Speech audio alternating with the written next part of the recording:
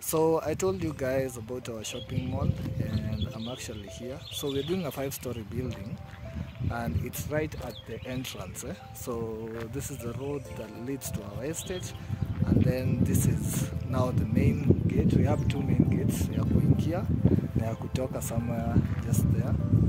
Uh, hapa mbele, sorry. And then now the mall, but let me flip it. Let me flip the camera again so that you can be able to just see how it looks like yeah? Okay. So let me show you the mall. I'm actually at the main gate at the entrance of now malaika village. And you can't even access the gate eh, without you registering and adding your details here. And as you can see tumejaribu sana. We're trying our best.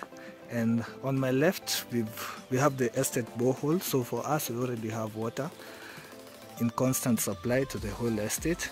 And as you can see currently we are at the second floor. Actually tunaelekea second floor tumefika first floor. But this mall will be a five story building eh? a five story building. Kuna mtu already amebook anataka kuweka supermarket someone else wants to put up a restaurant we want to put up a gym. Uh, so this place will be actually packed eh? In a few days to come. Because right now our goal is to finish building court the, the first court. Ah, the, last the, court number three.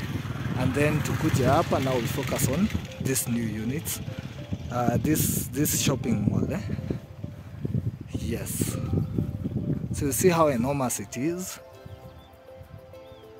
And eventually tukianza tu it will be a good place like uh, the only thing yenye imebakisha actually ni blocking tu tuweke mawe ndani we partition the spaces that people have already booked and it starts functioning.